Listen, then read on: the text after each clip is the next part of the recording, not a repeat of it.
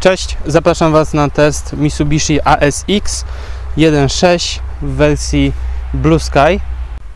Crossover posiada silnik benzynowy 1.6 o mocy 117 koni mechanicznych, czterocylindrowy, y, uzyskuje pełną moc y, na wysokich obrotach, jak to w Japończykach bywa, zatem trzeba go nieco wkręcać. 154 Nm. Średnio pali jakieś 7,5 litra na 100 km. Myślę, że całkiem przyzwoity wynik, biorąc pod uwagę e, jego masę i w ogóle jego e, kształt bryłę. Płyta podłogowa jest z Outlandera, tak więc no jest to naprawdę spory samochód, co przekłada się na miejsce w środku, ale o tym za chwilę. E, w trasie z Kielc do Krakowa, więc e, cały czas lekko pod górę e, udało mi się uzyskać wynik 5,8 litra na 100 km. Nie jechałem jakoś mega hardkorowo oszczędnie, raczej okolice 90 km na godzinę. No więc jeżeli się chce, to można zaoszczędzić. Bliska to wygląda następująco.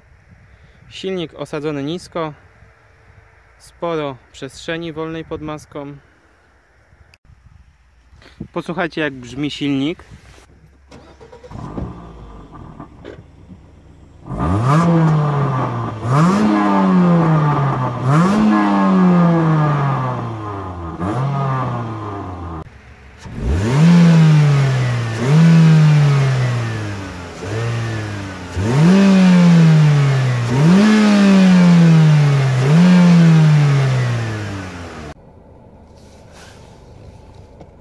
Bagażnik w tym mieszczuchu posiada 419 litrów pojemności.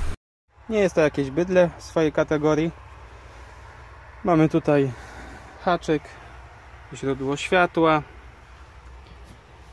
schoweczki, półeczki z przegródkami, najważniejsze akcesoria samochodowe,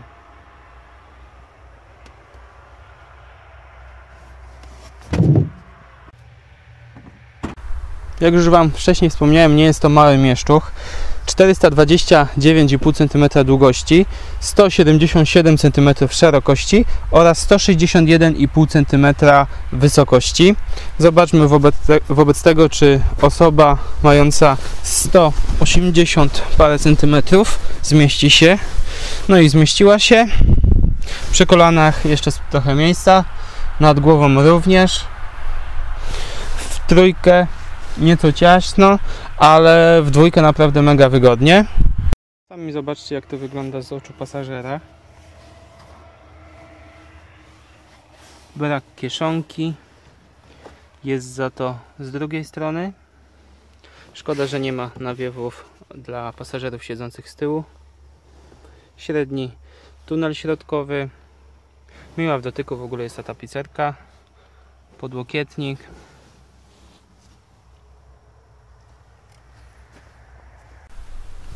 Przyszła pora na moje ulubione miejsce w samochodzie. Nie muszę mówić jakie. Fotele miękkie. Auto ma 11,4 do setki. Są nieco wyprofilowane i w zupełności wystarczają. Na zakrętach spisują się naprawdę dobrze. To samo oczami kierowcy. Fajna sprawa, że te lusterka są naprawdę sporych rozmiarów ułatwia to manewrowanie.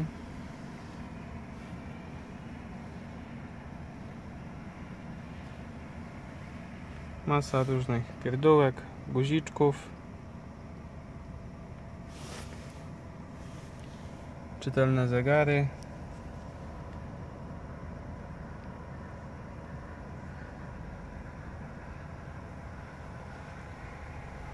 Radio, które gra bardzo dobrze.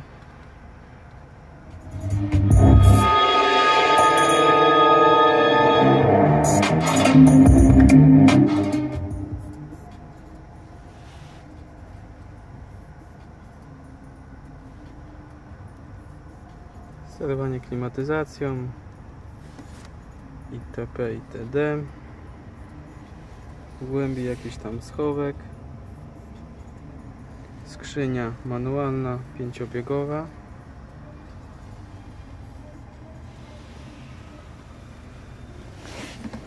Kolejne cup holdery. Podłokietnik, który możemy otwierać albo z półką na górze, albo otwieramy całość i zaglądamy do środka.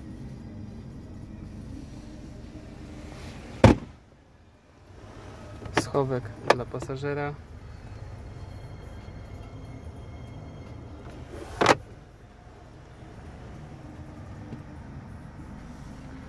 Guzik do sterowania podświetleniem. Niestety raczej nie będzie tego widać, pokażę Wam to później. No i to co mi się najbardziej podoba to okno panoramiczne.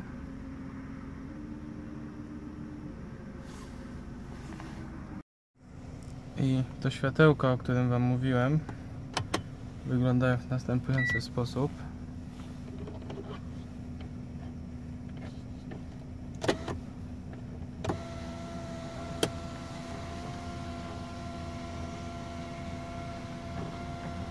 A po zasunięciu rolety środek auta nocą. Jeszcze raz rzut okiem na całą deskę rozdzielczą, która wygląda elegancko.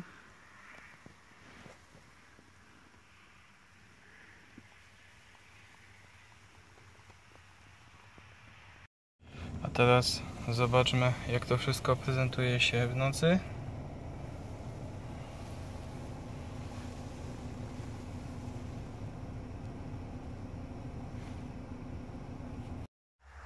Na spokojnie jeszcze raz rzućmy okiem jak to wygląda z każdej strony. Mam nadzieję, że obraz nie będzie się zbytnio trząsł.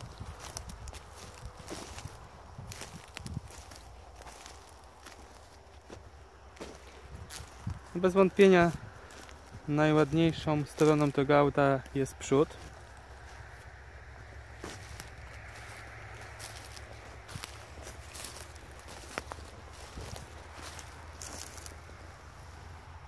Crossover ASX, autko z 18 cm prześwitem startuje w salonach e, za nieco ponad 60 tysięcy złotych, tam bodajże 62 niecałe.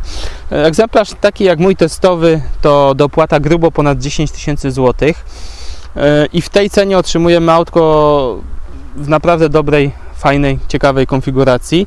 Wychodzi tam chyba niecałe 77. Duże, ciemne, 18-calowe felgi, piękny biały kolor, czarny, może nie tyle dach, co okno dachowe. E, bardzo mi przypadł do gustu ten przedni zderzak.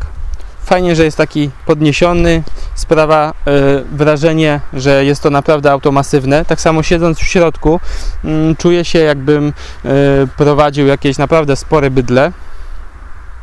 Sam środek nie jest może jakoś bardzo nowoczesny, nie ma tam jakiejś masy różnych dziwnych e, przycisków.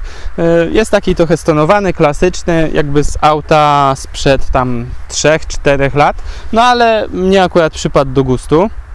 Jeżeli ktoś szuka czegoś, e, czym będzie mógł się przemieszczać wygodnie zarówno i w mieście, jak i w trasie, chce pokonać każdy krawężnik, myślę, że będzie w targecie.